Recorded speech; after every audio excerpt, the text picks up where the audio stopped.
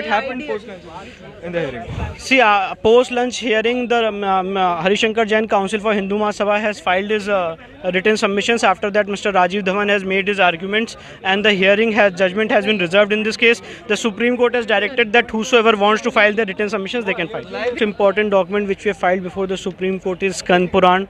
Then we have the travel accounts of William Finch, Tieffenthaler. Then the British Gazetteer of 1828. Then we have also filed uh, the Ain Akbari, who has been uh, who has been written by Abul Fazal in 1590. So all these are clinching documents which goes to prove that from 1528 to 1855 there was a pre-existing temple at the disputed site.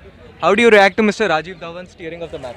See, I don't uh, take Mr. Rajeev Dhawan seriously, and uh, I think it was unprofessional, unethical, it was uncalled for, and if something like that has been done, it has to be deprecated by the bar and the bench as well. What is your expectation of the Supreme Court? Uh, we, uh, we believe that the verdict should come as soon as pos- possible before 17 November, and the verdict should go in our favor because we have a very strong case.